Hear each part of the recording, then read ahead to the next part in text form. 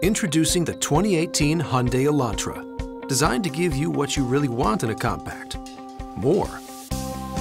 The Elantra's exterior displays an evolution of the design language Hyundai has become famous for, called fluidic sculpture to create a new, more refined expression called dynamic precision, which aims to blend aspects of dynamism with a sense of balance.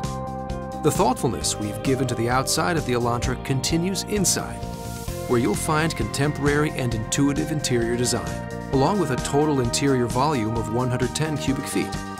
Forward-thinking design is also on display in the Elantra's available HID headlights with dynamic bending light to help you see around corners.